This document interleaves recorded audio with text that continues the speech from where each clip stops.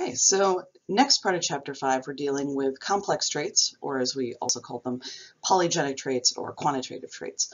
Basically where you have a lot of genes all contributing to a particular phenotype. So height is a really good example. Uh, we almost have this little bimodal distribution um, determined by uh, biological sex, again with asterisks there um, uh, in general but in general, the um, cats are back. Uh, presence of the uh, sex determining region and um, testosterone uh, effects on growth mean that men are, on average, slightly taller than women. Okay? But it's not a discrete trait. There's not, you know, we don't have height A, B, and C. We have a range of heights that we can actually measure and quantify. Okay. And so uh, there's lots of different alleles going of different genes that are all affecting height as well as the environment, such as um, uh, stunting is when you don't have enough calorie intake when you are a child developing and your bones and body do not grow to your maximum height. So that's something that can happen if you are nutritionally deficient.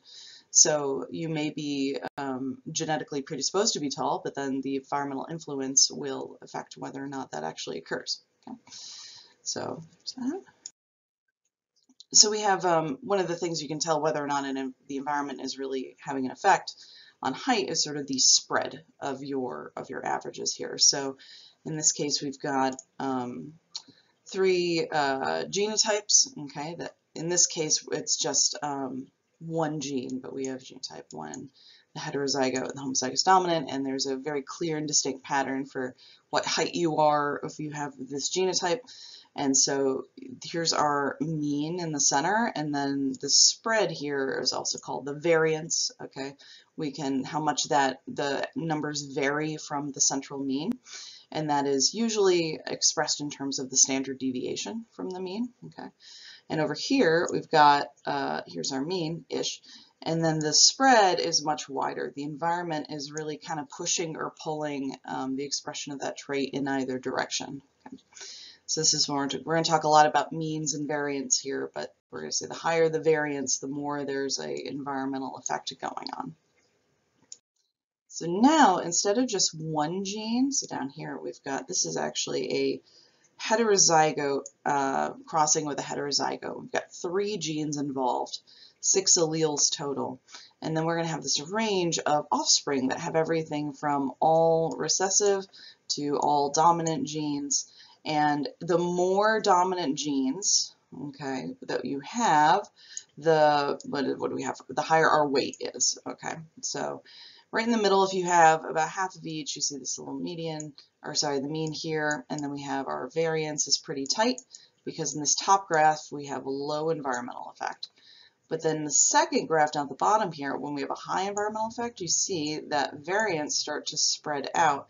And overall, the graph starts to look like just a big curve there. Okay, so all these different, how many alleles you have that contribute to a higher weight will matter in this case. Okay, we're starting to see, instead of having discrete traits, we have this nice curve here. Now we still have a couple that we can zoom zone in on sort of that um, trait that has all recessive, whatever offspring have the most least amount there, and then we have the whoever has all the dominant stacking traits for weight there. We sort of have these what we call the extreme. Watch me draw. I should have invested in a tablet. All right, extreme traits we're going to use to figure out some very important numbers later on. Okay. Now we have another um, idea here. This here's the curve, and we're not showing all the little humps and the alleles and such, but there's an idea that that you can have um, predisposing alleles. Okay, if you have there's a particular condition. In this case, we're looking clinical diabetes. The more alleles you have that dispose you to this, the higher your likelihood chance of getting it. But you're not going to have a problem until you reach this sort of critical threshold here, okay? So you have to have enough of those alleles that contribute towards a particular trait uh, in order to actually have the trait. So sometimes we talk about like a threshold number of alleles here.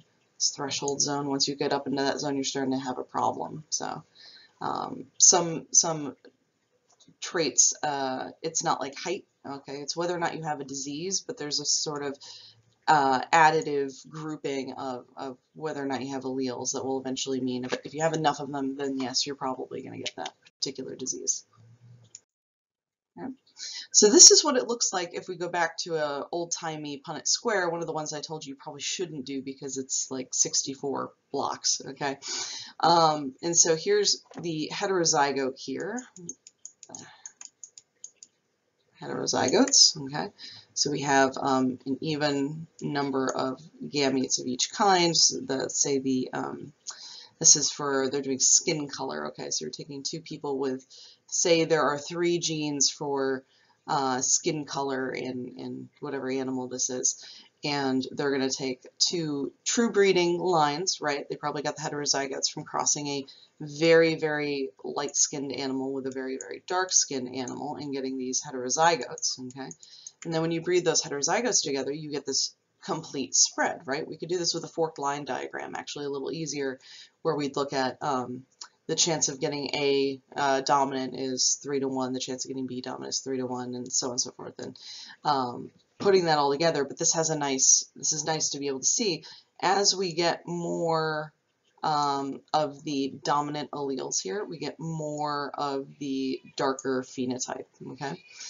And so the most common one is actually going to be the one in the middle here, this 20 out of 64, the moderate type, but we're going to see the full range in decreasing order uh, down to just having one of the most, one chance in 64 of having the, the least extreme and this one of having the most extreme in terms of skin color.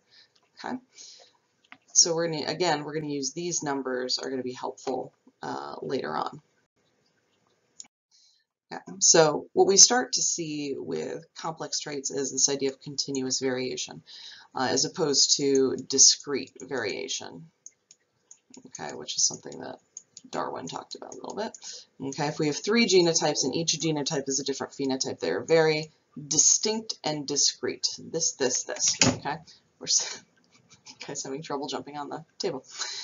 As we get to three genes, we can still kind of tell these apart, but there's generally a trend here. It's starting to look more continuous, and as we get to five different alleles all contributing, we get this very clear just spread of continuous variation. And this is what stumped a lot of early geneticists because they were looking for these discrete traits, but then seeing things like height and weight that were very clearly continuous. So how could you possibly have just one or two gene, you know, choices here? It turns out, well, if you've got five, six, ten alleles all working together, then yes, you're going to see the effect of that. Um, all those Mendelian inherited, actually Mendelian inherited genes adding up, and now you've got what looks like continuous variation, what is continuous variation based on those alleles. Okay. So, I don't know if anybody chose Herman Nilsson-Ehle, but he basically tested this because this early 1900s was really the time that this whole continuous versus discrete debate was getting to a head. Uh, and how could genes be particulate when we see continuous um, variation? So he used grain color in wheat to test whether or not uh, multiple genes could be affecting the same trait. So this was an actual hypothesis at one point, right? And so what he did is he took true breeding red and true breeding white and bred them together to get this intermediate color, okay, this intermediate phenotype, which everybody said, well, that's a blend, clearly. But then he self-fertilized this back on itself, okay? And that left all my markings from previous, hold on. Wait, this probably is what happened in chapter 9 without me realizing. Okay, and so then he, what he saw is that instead of just getting all pink again, which you would assume, he got this range of color, okay? And he was able to quantify and find that the appearance of the color uh, mattered in terms of statistical significance of, of stuff. So there were very, very few of the dark red came back out and very, very few of the white came back out. Um, and so what he then determined was, okay, so then it matters, there must be multiple genes because the number of alleles they are getting is contributing to the color phenotype, okay?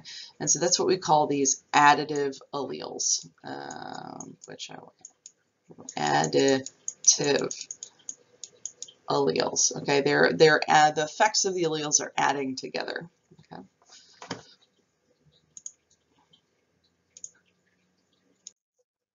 okay.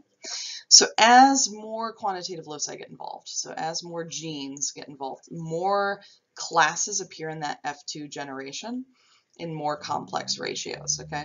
So if you just got one gene pair, that's great. You've got three categories here?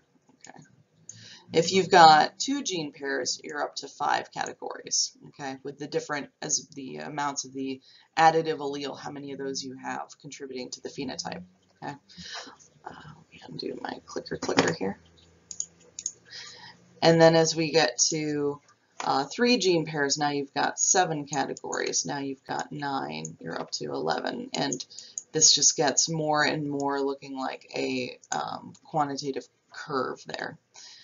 So is it possible to figure out how many genes are actually affecting a trait? Yay, glad you asked. Yes, you can. Okay, so we can calculate the number of polygenes, okay, or genes additive to alleles, genes contributing to a polygenic trait, all that goodness. So the number of polygenes contributing to a quantitative trait can be estimated based on the ratio of the F2 individuals resembling either of the two extreme phenotypes. Okay, so um, and so the the thing here is we what we need to solve for is one over four to the n equals the ratio of the phenotypes. So in this case, if we um, had, let's say we had a whole bunch of offspring and we looked at the offspring that was, um, let's say we had that skin color one before, we're looking at the one that is the darkest, darkest black, okay? And we find that there are, you know, roughly 68 offspring and two of them are black and we do the two out of 68 that is what we would set equal to the 1 over 4n, and then you would need to solve for n, okay? So some of these are easy. If you've got 1 out of a quarter expressing either, just pick one, an ex extreme phenotype, then you probably have three distinct phenotypic classes, and you've got um, just one gene going on there, because 1 to 4 to the n, in this case n equals 1, okay?